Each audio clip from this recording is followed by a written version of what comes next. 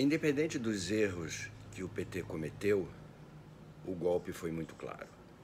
Eles não queriam um governo popular no comando do país.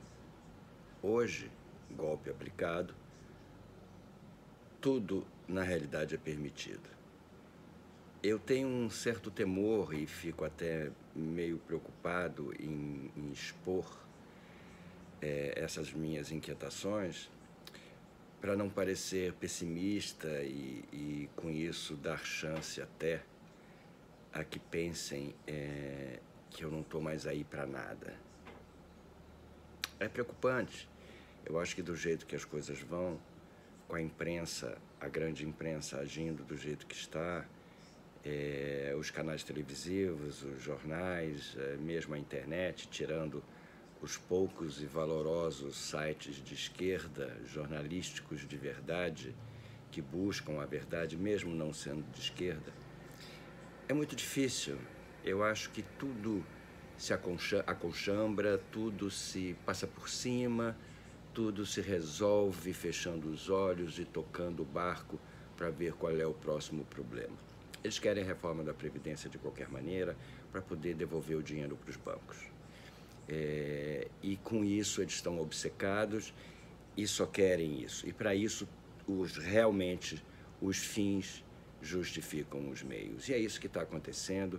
E a, a, grande imprensa passa a mão na cabeça do Moro, passa a mão na, na, cabeça do Bolsonaro e continuamos sem saber quem matou Marielle, onde está Queiroz e tantas outras coisas.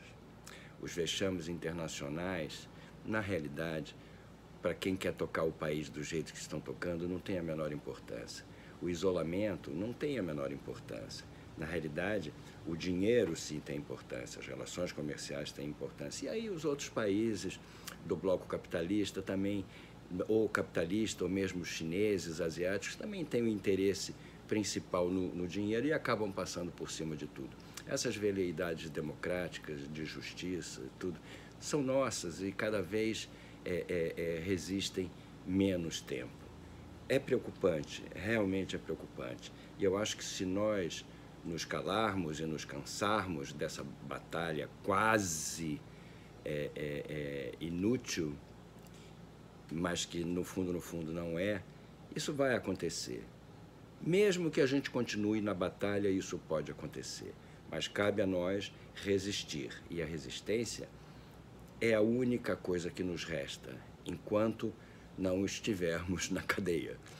Então, é, é, eu espero que a democracia se mantenha mesmo capenga para que a gente possa continuar resistindo democraticamente.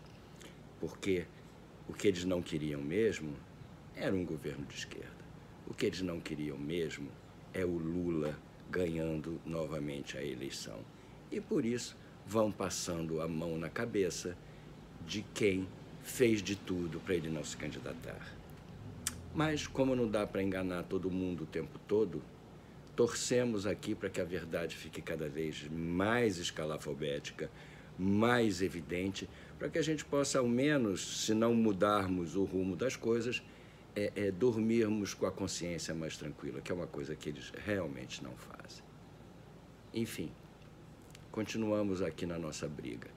Espero que vocês continuem aí também assistindo a esses vídeos e a todos os outros, Paulo Henrique Amorim, Brasil 247, The Intercept, tudo aquilo que nos dá pelo menos um alento de que alguma coisa pode um dia, quem sabe, vir a acontecer.